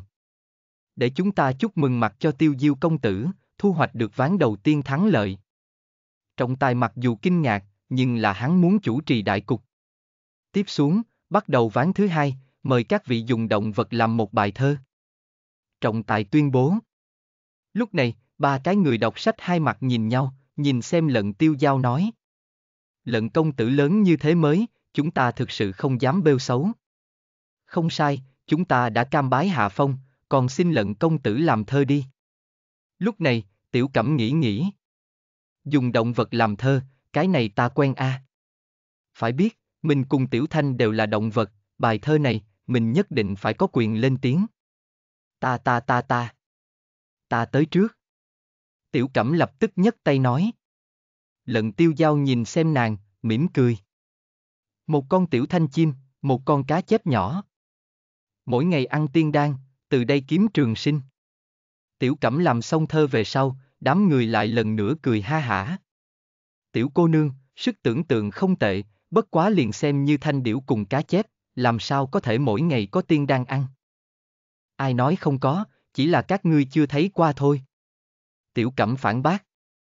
Ha ha ha. Mọi người cũng không có để ý Tiểu Cẩm nói lời, chia xem như là đàm tiếu thôi. Vẫn là mời lận công tử làm thơ. Không sai, lận công tử, không biết có gì cao làm. Mọi người thấy lận tiêu giao hỏi. Lận tiêu giao cười nhạt một tiếng, mở miệng ngâm thơ nói. Xây nhà tại nhân cảnh, mà không xe ngựa huyên. Hỏi quân gì có thế ngươi? Tâm xa địa từ lệch. Hái cúc đông dưới rào, khoan thai gặp Nam Sơn. Núi khiến ngày đêm tốt, chim bay sống chung còn. Trong cái này có chân ý, muốn phân biệt đã quên nói. Trong cái này có chân ý, muốn phân biệt đã quên nói. Thơ hay, thơ hay. Đãi rác vài câu, lại hàm ẩn chân ý, lận công tử quả nhiên là trích tiên hạ phàm A. Lúc này, Tiểu Thanh nhìn xem lận tiêu giao, chim bay sống chung trả, quá tốt rồi, chủ nhân bằng vào ta làm thơ. Lúc này, Tiểu Cẩm tức giận nhìn xem lận tiêu giao nói. Chủ nhân ngươi làm sao như thế bất công, chỉ có Tiểu Thanh, không có ta. Lận tiêu giao cười cười, đã như vậy, ta lại đến một bài đi. Giang Nam nhưng hái sen, lá sen hà điền ruộng. Cá hí lá sen ở giữa. Cá hí lá sen đông, cá hí lá sen tây, cá hí sen Việt Nam, cá hí lá sen Bắc lần tiêu giao vừa dứt lời, lập tức, bên trên bầu trời từng đạo dị tượng lại lần nữa xuất hiện. Thủy quang liễm diễm, nhẹ nhàng nước hồ phía trên. Một con thanh điểu tại thiên không bên trong xoay quanh, phản phất bay vọt bầu trời biến cả. Đầy ao hoa sen, mấy cái màu đỏ cá chép nhỏ ở trong nước chơi đùa du đảng. Oanh! Bỗng nhiên, một cổ đại đạo khí tức từ trên trời giáng xuống. Cuồn cuộn đại đạo khí tức ẩn chứa ở trong thơ, ngân hà hạ xuống, thanh điểu xoay quanh, cá chép nghịch nước. Từng đạo dị tượng xuất hiện tại mọi người trước mặt, tất cả mọi người khiếp sợ không gì sánh nổi nhìn xem một màn này, không dám tin vào hai mắt của mình. Quá đẹp a. Lận công tử ngâm thơ còn kèm theo dị tượng, chỉ sợ trên trời tiên, cũng bất quá như thế đi. Quá lợi hại. Lận công tử, ngươi thật quá đẹp rồi a. Oanh. Oanh. Oanh. Dị tượng còn chưa đình chỉ, từng đạo đại đạo khí tức xuất hiện tại dị tượng bên trong. Hoàng cung chỗ sâu, một cái lão giả bỗng nhiên mở mắt. Ta đột phá. Ta đột phá a. Bế quan ngàn năm, ta rốt cục đột phá, quá tốt rồi, không biết là vị cao nhân nào thi pháp, để cho ta đột phá. Ta nhất định phải hảo hảo tạ ơn người ta. Lão giả kinh hỉ nói. Lão giả đi ra, lúc này, một người mặc long bào nam tử dẫn theo đông đảo thị vệ lập tức hướng phía lão giả quỳ xuống, nhi thần cung nghênh thái thượng hoàng xuất quan. Một cái ngọn núi bên trên. Một cái thanh niên áo trắng nhìn lên trời bên cạnh dị tượng. Hắn vô cùng kinh ngạc. Khi dị tượng bên trong vậy mà ẩn chứa đại đạo. Hắn nhìn chầm chầm chân trời dị tượng, trường kiếm trong tay tùy ý múa, lập tức, từng chiêu kiếm quyết phóng thích ra ngoài. Hắn tùy tâm mà động, tùy ý hưởng thụ lấy cái này đại đạo khí tức, không ngừng vũ giả của mình kiếm. Xoẹt. Bỗng nhiên, hắn một đạo kiếm quang bắn ra. Oanh. Một tảng đá lớn ầm vang vỡ vụn. Ta hiểu. Có kiếm này đạo, từ nay về sau, cùng giai người, không người có thể tiếp ta ba kiếm. thanh niên kích động nói. Lúc này, trọng tài từ trong lúc khiếp sợ tỉnh lại. Đã chư vị đều đã từ bỏ tranh tài, như vậy, ta tuyên bố, tranh tài người thắng trận là lần tiêu giao lận công tử. Lúc này, tiếng vỗ tay như sấm lập tức vang lên. Lúc này, trọng tài lấy ra một bình hoa quế nhưỡng, hai tay đưa cho lận tiêu giao nói. Lận công tử, đây là phần thưởng. Lận tiêu giao nhận lấy hoa quế nhưỡng. Sau đó cho tiểu cẩm. Tiểu cẩm cao hứng phi thường, vội vàng nói. Đa tạ chủ nhân. Lúc này, trọng tài hành lễ nói. Lận công tử, chủ nhân nhà ta nói, thắng được quán quân người, nhất định phải mời đến trong phủ tụ lại, còn xin lận công tử dời bước. Tải áp nghe trọn bộ ở phần mô tả. Chương 47 Ninh Vương Phủ mở tiệc chiêu đãi, Thái Thượng Hoàng tạ ơn. Nghe đọc truyện miễn phí tại truyện chấm audio. Công tử, lão gia nhà ta là quý tài ái tài người, tổ chức cái này làm thơ đại hội, chính là vì trợ giúp lão gia tìm kiếm người trong thiên hạ mới, còn xin công tử không muốn cự tuyệt. Lão gia nhà ta đã thiết hạ tiệc rượu, còn xin công tử dời bước. Trọng tài vội vàng nói. Tiệc rượu. Nói như vậy là có ăn ngon. Tiểu Thanh hai mắt tỏa ánh sáng. Tiệc rượu vậy thì có rượu đi. Tiểu Cẩm cũng lập tức hỏi. Kia trọng tài vội vàng nói. Đương nhiên là có. Lúc này, Tiểu Thanh cùng Tiểu Cẩm lập tức dùng khát vọng ánh mắt nhìn xem lận tiêu giao, lận tiêu giao có chút bất đắc dĩ, cười nói. Đã như vậy, vậy liền đi xem một chút đi. Mặc dù nói muốn đưa Lâm Khuynh Tuyết đi Đại La Thánh Địa, nhưng là tạm thời còn không vội. Lận tiêu giao cũng đã nói, tu tiên trọng yếu nhất chính là tu tâm, hết thảy đều lấy tâm bình tĩnh đối đãi, kia là tốt nhất rèn luyện đạo tâm phương pháp, ngàn vạn không thể gấp gấp rút. Mà lại, Lâm Khuynh Tuyết rất trân quý cùng Thánh Tổ cùng một chỗ thời gian, có thế nhiều một ngày liền nhiều một ngày. Nàng hận không thể không cần đi Đại La Thánh Địa, một mực đi theo Thánh Tổ du đảng thế giới đâu. Kia trọng tài là Đại Tề Ninh Vương Phủ Quản gia, Ninh Vương là Hoàng thượng đệ đệ, hắn yêu thích thi từ, thích kết giao bằng hữu. Cho nên hắn cử hành làm thơ đại hội, mời thiên hạ hào kiệt tới tham gia. Đám người đi theo quản gia đi tới Ninh Vương Phủ. Quản gia rất cung kính đem lận tiêu giao nghênh đón đi vào. Niệm vài câu thơ liền có thể sinh ra dị tượng, quản gia biết, lận tiêu giao tuyệt đối không phải người bình thường, tối thiểu nhất cũng là một cái phi thường cường đại tu sĩ. Cho nên hắn không dám chút nào lãnh đạm. Đi tới trong phủ. Chỉ gặp một người trung niên nam tử lập tức ra nghênh tiếp. Công tử chính là hôm nay làm thơ đại hội người thắng sao? Ninh Vương đi tới lận tiêu giao trước mặt hỏi. Lần tiêu giao nhẹ gật đầu. Lúc này, quản gia vội vàng nói. Lão gia, chung quanh công tử tên là lận tiêu giao, đây là hôm nay hắn làm thi từ. Quản gia liền tranh thủ trích lục thi từ đưa cho Ninh Vương. Ninh Vương nhìn xem lận tiêu giao làm thi từ, lập tức kinh hãi. Cái này. Đây là thiên cổ có 102A. Bay lưu phía dưới 3.000 thước, hư hư thực thực ngân hà trót xuống từ 9 tầng trời. Trong cái này có chân ý, muốn phân biệt đã quên nói. Cơ hồ mỗi một câu, đều là tuyệt bút, tiên sinh văn thải, có thể so với thi tiên A. Ninh Vương lập tức tán dương. Lúc này, quản gia lập tức nói. Lão gia, ngươi không biết, hôm nay lận công tử làm thơ thời điểm, trên trời rơi xuống không vậy mà hạ xuống ngân hà dị tượng. Còn có chim bay dị tượng, cá chép dị tượng. Lúc này, Ninh Vương kinh hãi. Ý của ngươi là nói, tiên sinh làm thơ thời điểm, bên trên bầu trời hiện tượng. Không sai, rất nhiều người đều nhìn thấy. Quản gia vội vàng nói. Giờ khắc này, Ninh Vương thái độ đối với lận tiêu giao càng thêm cung kính, tiên sinh nhất định là người tu hành A. Lận tiêu giao gật đầu nói. Không sai, trước đó học qua một chút xíu pháp thuật. Ninh Vương đánh giá lận tiêu giao, làm thơ trên trời rơi xuống dị tượng, chẳng lẽ là trích tiên hàng thế? Ninh Vương thái độ vô cùng cung kính, vội vàng nói. Tiên sinh, mau mau cho mời.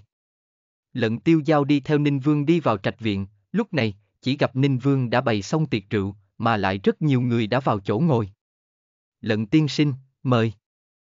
Ninh Vương đã đem lận công tử cải thành lận tiên sinh, đây là đối lận tiêu giao thực lực một loại khẳng định. Lận tiên sinh, hôm nay tới đây tụ tập đều là ta đại tề vương quốc giới văn học thái đẩu, ta cử hành tụ hội, mọi người có thể giao lưu học tập một chút. Lận tiên sinh phải chăng có cái gì không tiện? Ninh Vương hỏi. Lận tiêu giao lắc đầu nói. Không có, ta tùy ý liền tốt. Kia mời đi. Ninh Vương mang theo lận tiêu giao đi tới trước mặt mọi người, Ninh Vương vội vàng giới thiệu. Các vị, vị này là hôm nay tại làm thơ đại hội bên trong thắng được lận tiên sinh, đây là hắn viết mấy bài thơ, còn xin các vị dám thưởng một chút. Ninh Vương đem trích lục bản thảo đưa cho các vị thưởng thức. Phi lưu trực hạ tam thiên xích, hư hư thực thực ngân hà trót xuống từ chín tầng trời. Tốt phóng khoáng thơ A. Lúc này, một cái lão giả tán dương. Còn có câu này, trong cái này có chân ý, muốn phân biệt đã quên nói. Hay lắm, hay lắm. Một vị khác tán dương. Còn có cái này vài câu, cả hí lá sen đông. cả hí lá sen bắc. Mặc dù vẻn vẹn chỉ là đơn giản vài câu, lại đem con cá vui sướng hoạt bát sôi nổi trên giấy. Thật là khéo. Lận tiên sinh tuổi còn nhỏ, liền có như thế tài hoa, chính là ta đại tề may mắn a. Lúc này, một cái lớn tuổi lão giả ngồi tại chủ vị phía trên, không nói một lời. Hắn gọi là Vương Kính Dịch, chính là đại tề công nhận là văn học đại sư, chân chính giới văn học thái đẩu. Bất quá Vương Kính Dịch là tả thực phái, không thích rất nhiều hư hóa sốc nổi văn học. Đặc biệt không thích những cái kia không tồn tại văn học sáng tác. Vương Tiên Sinh, ngài thấy thế nào? Lúc này, một người đem bản thảo đưa cho tên lão giả kia. Vương Kính Dịch nhìn một chút bản thảo, bình tĩnh nói. Không tệ, hoàn toàn chính xác có chút văn học bản lĩnh, bất quá ngươi cái này thi từ, có chút quá hoa lệ, hư hóa táo bạo, không phù hợp thực tế. Ta xem ra, cái này thơ chính là vô dụng nói nhảm. Phải biết đây chính là thi tiên lý bạch danh thi, cái này vương kính dịch cũng đủ tự tin. Lận tiêu giao cười cười, vương tiên sinh, không biết cái này thơ làm sao lại không phù hợp thực tế rồi. Vương kính dịch cười lạnh nói. Phi lưu trực hạ tam thiên xích, hư hư thực thực ngân hà rót xuống từ chín tầng trời. Ta vương kính dịch đi khắp đại tệ, chưa bao giờ thấy qua từng có loại địa phương này, không biết lận tiên sinh là ở nơi nào nhìn thấy đâu. Lận tiêu giao khóe miệng mang theo cười, vương tiên sinh chưa thấy qua, liền nhất định không có sao. Lúc này, vương kính dịch đứng lên. Bình thường tất cả mọi người đối với hắn một mực cung kính, bây giờ tiểu tử này vừa lên đến liền chất vấn hắn, hắn sao có thể không giận. Hắn nhìn xem lận tiêu giao nói. Ý của ngươi là nói ta không có kiến thức rồi. Lận tiêu giao cũng không giận, cười nói. Không sai. Ngươi. Vương Kính Dịch giận dữ. Ta chính là đại tề văn học Tây Cự Phách, 7 tuổi đọc thuộc lòng thi thư, 10 tuổi một ngày làm thơ 10 thủ, 20 tuổi trở thành đại tề đệ nhất tài tử, 30 tuổi lấy làm thi thư vô số, 40 tuổi trở thành đại tề cung trong biên soạn, chỉnh sửa cổ thư vô số.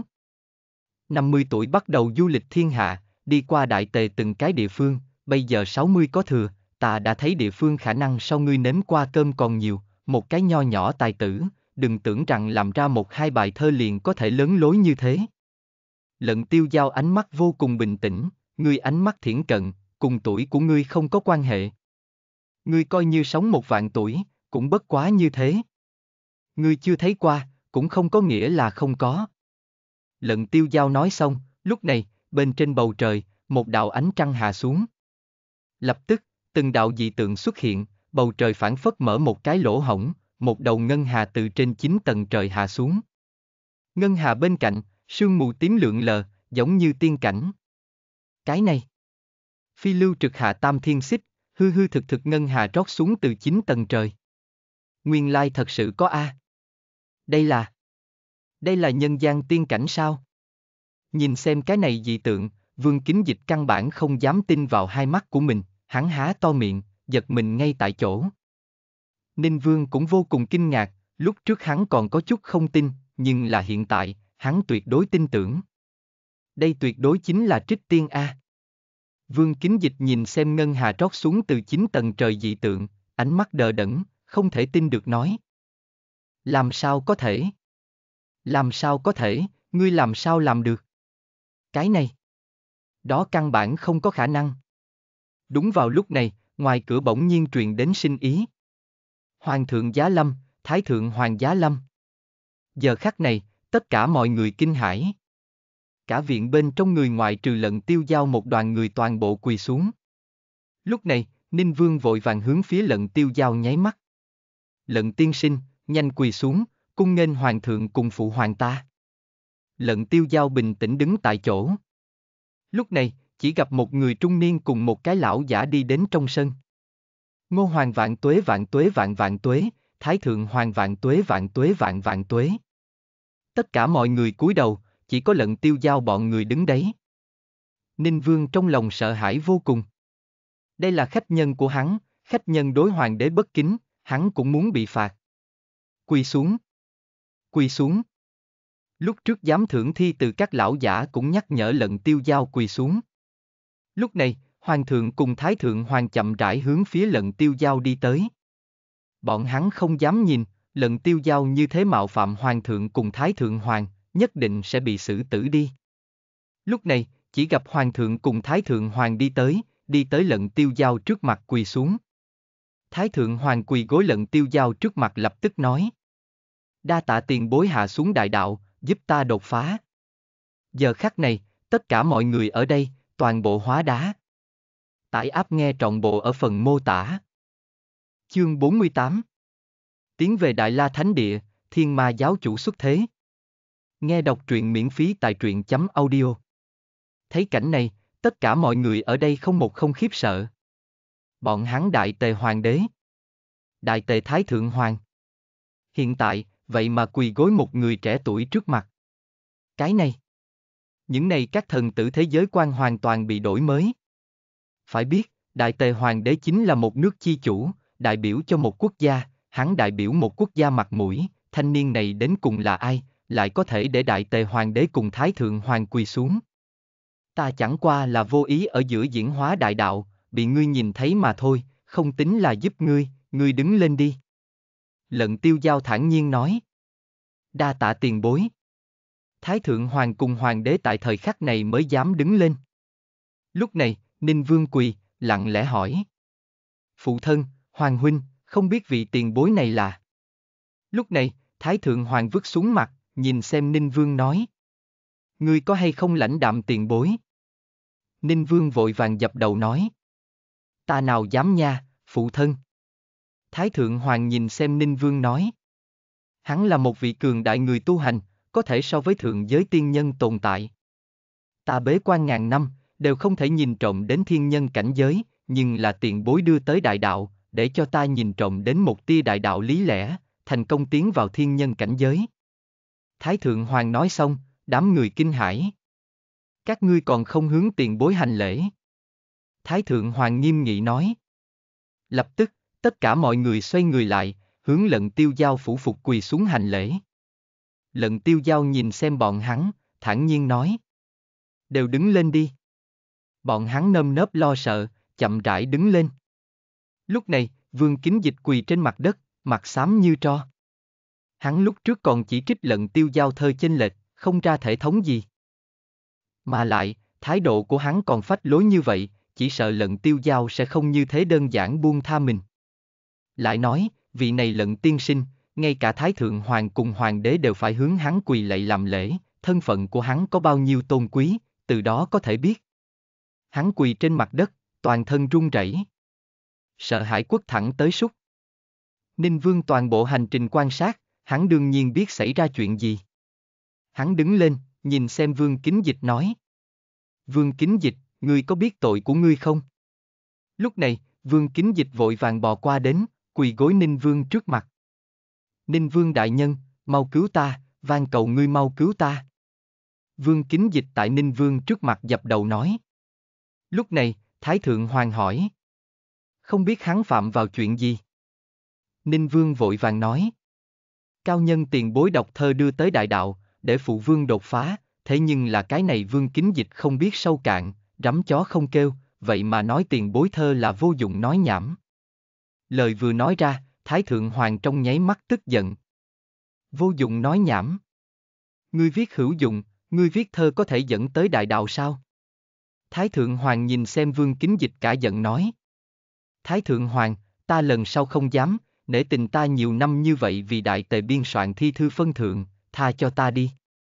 Vương Kính Dịch quỳ trên mặt đất dập đầu nói. Dám đắc tội tiền bối, đáng chém cửu tộc. Lúc này, hoàng đế nghiêm nghị nói. Giờ khắc này, Vương Kính Dịch càng thêm hoảng sợ. Hắn quỳ gối hoàng đế trước mặt, không ngừng dập đầu cầu xin tha thứ. Hoàng thượng, ta nhiều năm như vậy phụ tá ngài, không có công lao cũng cũng có khổ lao, van cầu ngươi thả ta, van cầu ngươi. Vương kính dịch quỳ trên mặt đất, đầu đều đập phá.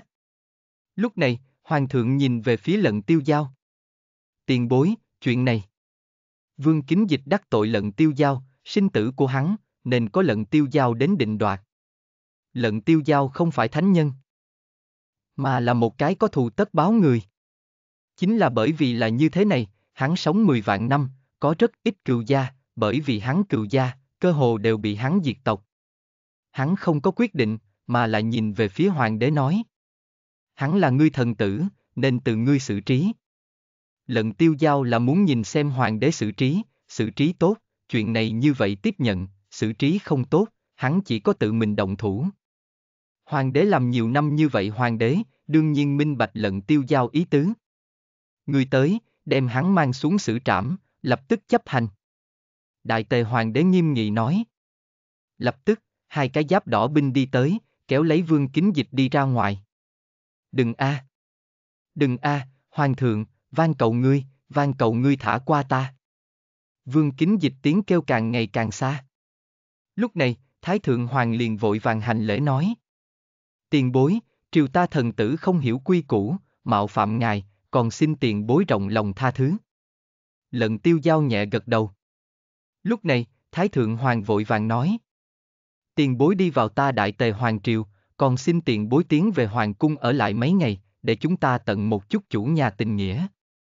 Đối với lận tiêu giao dạng này cường giả, nhất định phải nịnh bợ tốt. Có đôi khi, đạt được cường giả như vậy một cái hứa hẹn, liền rất có thể cứu vớt một cái vương triều. Thân là Thái Thượng Hoàng, hắn hiểu được, tiên môn phía dưới, chúng sinh đều là dung dế. Thế giới này, chỉ có tu tiên giả, mới thật sự là cường giả.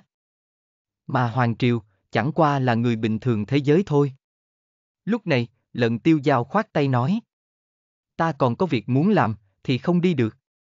Nhìn thấy lận tiêu giao đã cự tuyệt, không người nào dám lại lần nữa mời. Đã tiền bối đã quyết định đi, ta liền không lưu tiền bối. Người tới. Lúc này, mấy cái giáp đỏ binh chọn mấy cái bình lớn rượu đi tới lận tiêu giao trước mặt.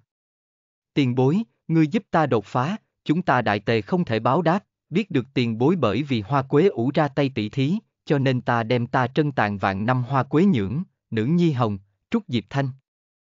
Những rượu ngon này, toàn bộ tặng cùng tiền bối. Thái thượng hoàng vội vàng nói. Vừa nghe đến là rượu, tiểu cẩm lập tức liền lao đến. Nàng góp lấy cái mũi nghe những này rượu ngon, luôn miệng nói. Rượu ngon, rượu ngon. Chủ nhân, đây đều là rượu ngon a. Lận tiêu giao mặc dù mỗi ngày đánh dấu, nhưng là đều là đánh dấu một chút thần cấp bảo vật, rượu ngon loại vật này, là không ký chính thức đến đến. Nhìn xem tiểu cẩm thích dáng vẻ, lận tiêu giao nhẹ gật đầu, sờ lấy tiểu cẩm cái đầu nhỏ nói. Đa tạ. Lận tiêu giao không có cự tuyệt, hắn mặc dù là vô ý ở giữa trợ giúp Thái Thượng Hoàng đột phá, nhưng là đích thật là mình dẫn tới đại đạo khí tức, mới đưa đến hắn đột phá, cho nên, hắn không có gì không có ý tứ, trực tiếp thu những rượu ngon này. Hắn đem rượu thu tại không gian trữ vật bên trong, tiểu cẩm muốn uống thời điểm, hắn tại lấy ra. Đối với ngoại nhân, lần tiêu giao sẽ sử dụng lôi đình thủ đoạn đối phó bọn hắn. Nhưng là đối với mình người, cho dù là mình thu dưỡng hai con tiểu yêu, hắn đều mười phần sủng ái. Thu rượu ngon, tại Ninh Vương Phủ ở một đêm. Ngày thứ hai trời vừa sáng, lần tiêu giao bọn hắn liền lên đường, tiến về Đại La Thánh Địa. Thiên Ma Giáo Một cái u ám đại điện. Một cái nữ tử áo đen ngồi tại chỗ ngồi phía trên. Lúc này, một cái thủ hạ đến đây, quỳ gối nữ tử áo đen trước mặt. Thuộc hạ tham kiến giáo chủ. Nữ tử áo đen móng tay thật dài sờ lấy chỗ ngồi lan can, nằm trên ghế ngồi hỏi.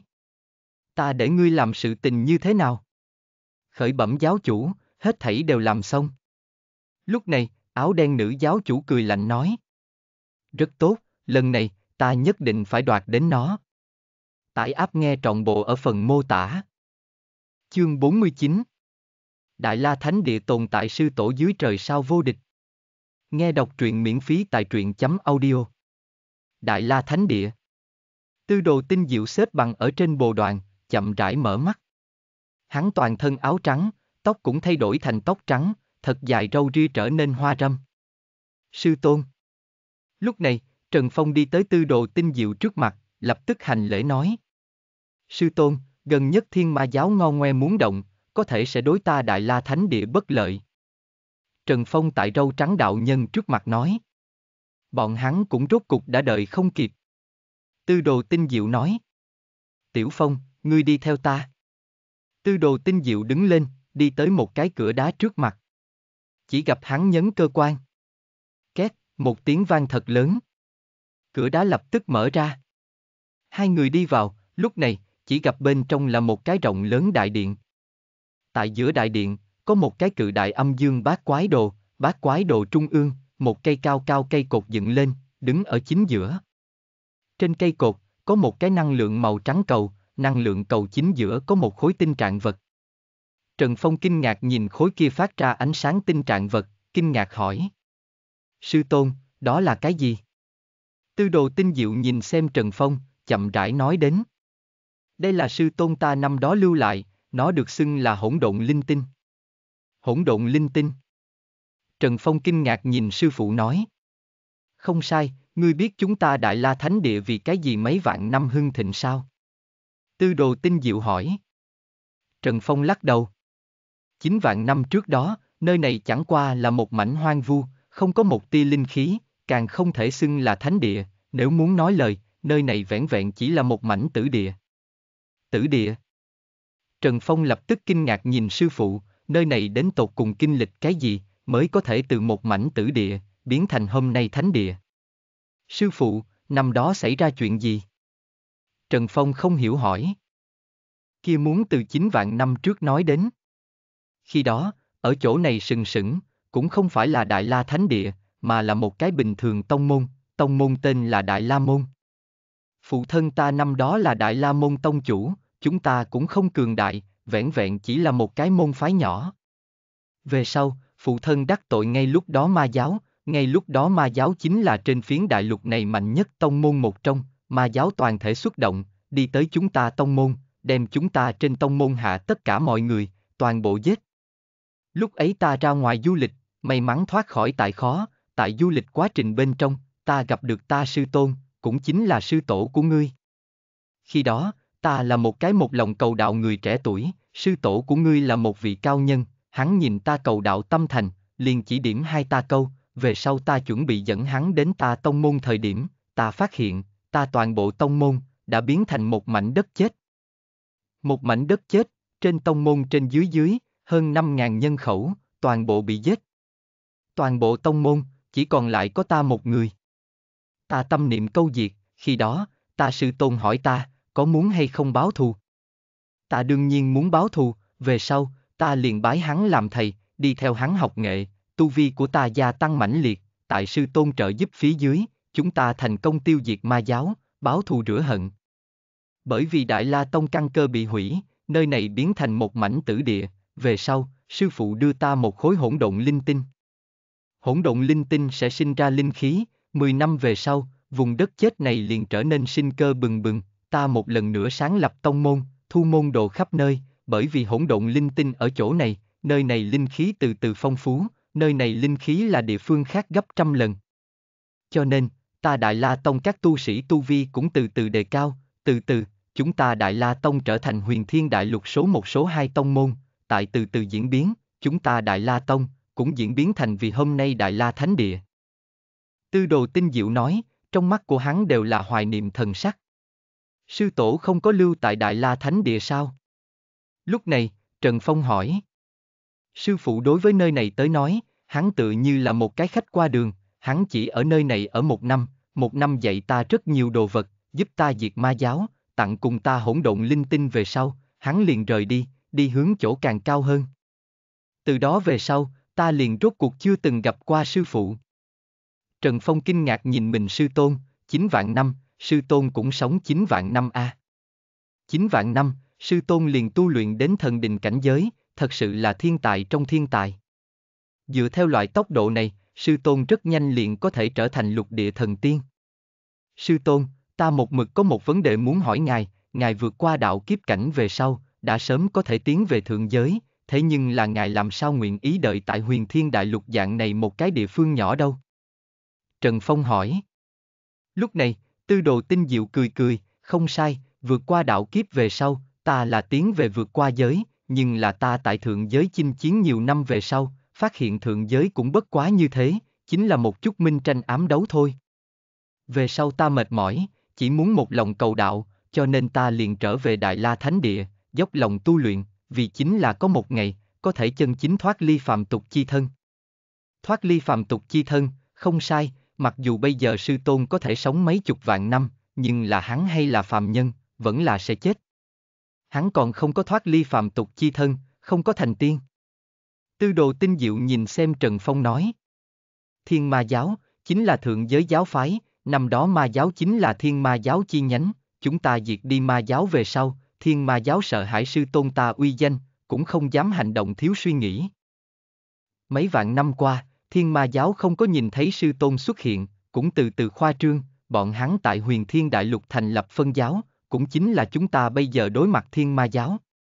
Bọn hắn đối với chúng ta Đại La Thánh Địa cuộc khởi cảm thấy rất hứng thú, một mực hoài nghi năm đó sư tôn tại chúng ta Đại La Thánh Địa lưu lại chí bảo, lúc đầu cái này chín vạn năm qua, cái này hỗn độn linh tinh cũng không có cái gì biến hóa. Nhưng là ngươi cũng biết mấy tháng trước, cái này hỗn độn linh tinh bỗng nhiên phát ra hào quang chói sáng, quang mang kia trực trùng vân tiêu, cho nên hiện tại, tất cả tiên môn đều khẳng định chúng ta Đại La Thánh Địa có chí bảo, đối với chúng ta Đại La Thánh Địa như hổ rình mồi. Tư đồ tinh diệu nói. Thế nhưng là, cái này hỗn độn linh tinh chín vạn năm không có động tĩnh, vì cái gì đột nhiên phát ra động tĩnh đây? Trần Phong không hiểu hỏi. Ta hoài nghi là sư tôn hắn xuất thế, lại tại thế gian này đi lại, hỗn độn linh tinh cảm ứng được sư tôn khí tức về sau, mới phát ra thần quan. Tư đồ tinh diệu giải thích nói.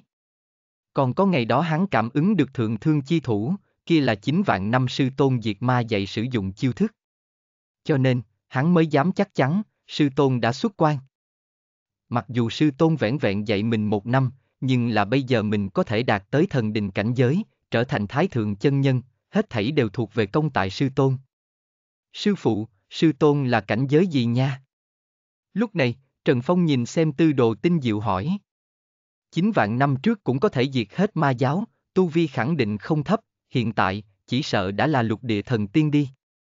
Lúc này, chỉ gặp tư đồ tinh diệu lắc đầu nói. Ta không biết hắn cảnh giới gì, nhưng là, chín vạn năm trước, hắn đã dưới trời sao vô địch. Dưới trời sao vô địch, chẳng lẽ bao quát? Thượng giới. Trần Phong kinh ngạc chỉ vào bầu trời hỏi. Tư đồ tinh diệu gật đầu nói. Sư Tôn đã từng nói, thượng giới không phải điểm cuối cùng, chỉ là một cái điểm xuất phát. Giờ khắc này, Trần Phong hóa đá tại nguyên chỗ, cái này đã, vượt ra khỏi tưởng tượng của hắn. PS. Chí tôn trở lên cảnh giới là như thế này thiết trí. Phía trước là cảnh giới tên, đằng sau là xưng hào. Đạo kiếp, chí tôn, thần cách, thượng nhân, thần hỏa, chân nhân, thần đình, thái thượng chân nhân, thần kiếp, lục địa thần tiên. Sau đó sửa lại một điểm, chương 3.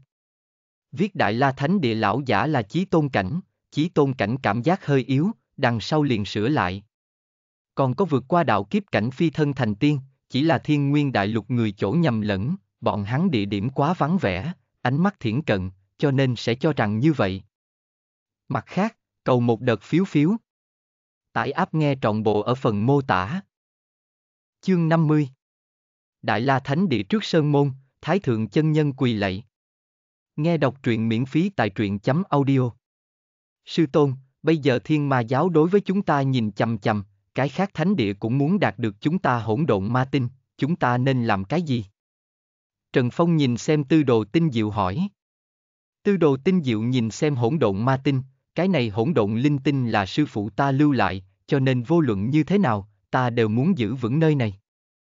Mặc dù cái khác thánh địa tiên môn đối với chúng ta Đại La Thánh Địa nhìn chầm chầm, nhưng là chúng ta Đại La Thánh Địa cũng không có yếu như vậy, bọn hắn đã nghĩ đến, liền để bọn hắn chết ở chỗ này. Tư đồ tinh diệu lạnh lùng nói.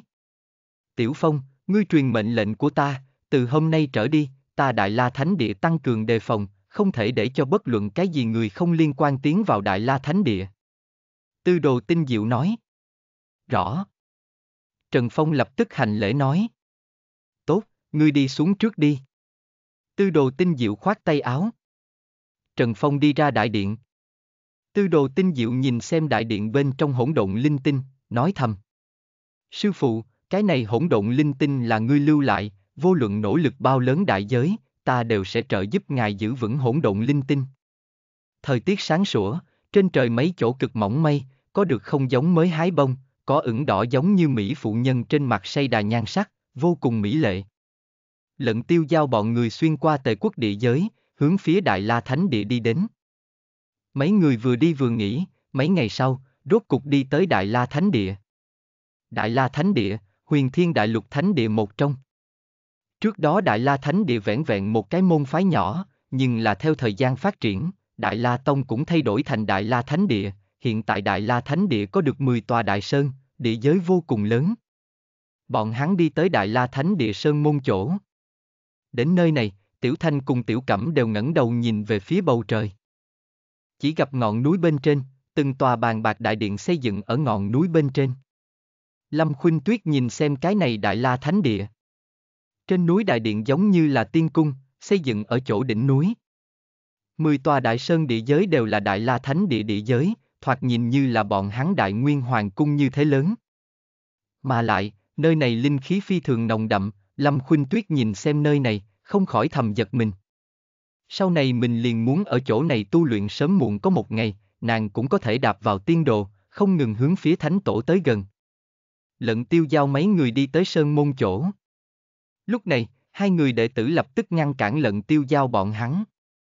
Các ngươi là ai? Đến Đại La Thánh Địa làm cái gì?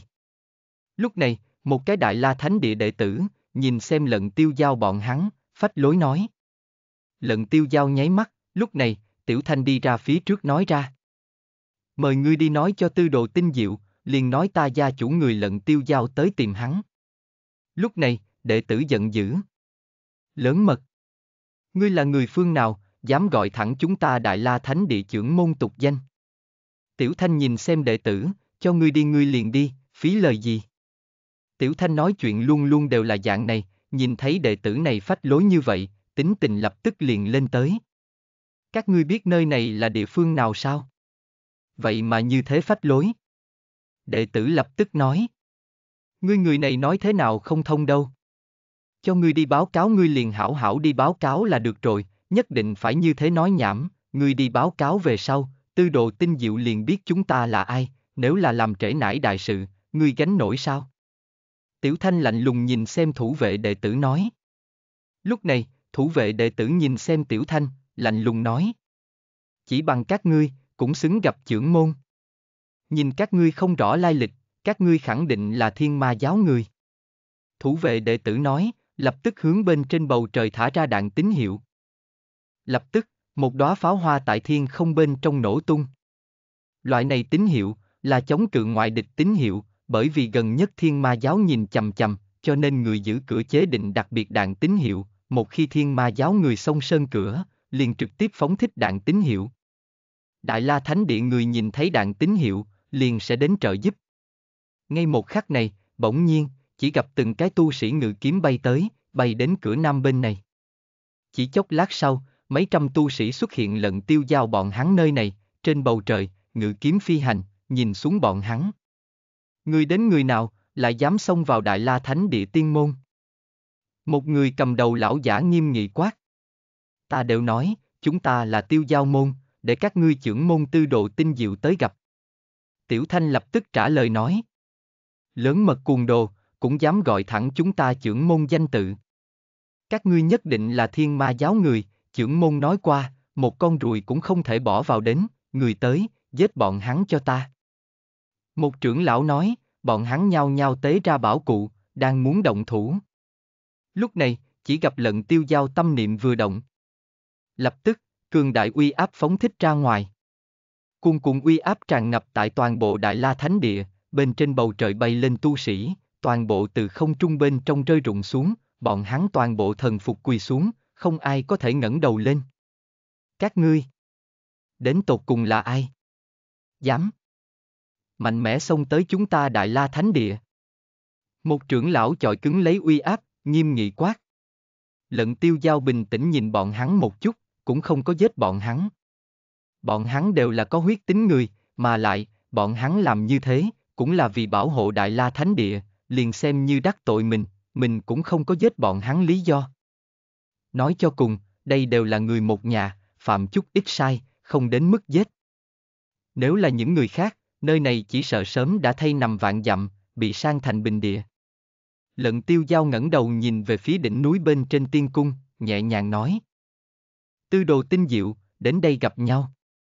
Thanh âm mặc dù không lớn, nhưng là mỗi người đều có thể rõ ràng minh xác nghe thấy, giờ khắc này, tư Độ tinh diệu đang tĩnh tọa tu luyện, bỗng nhiên, một thanh âm truyền vào trong lỗ tai của hắn. Hắn giật mình ngay tại chỗ, không thể tin vào tai của mình.